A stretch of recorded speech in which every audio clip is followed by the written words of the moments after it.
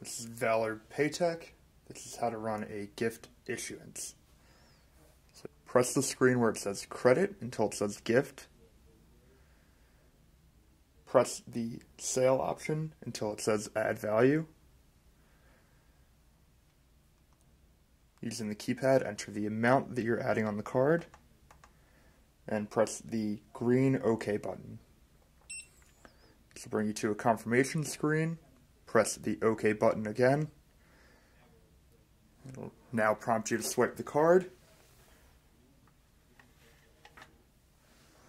Once you swipe the card, it'll ask you if you want a digital or physical receipt. If you want to, once you've successfully run the transaction, we'll prompt you for a merchant copy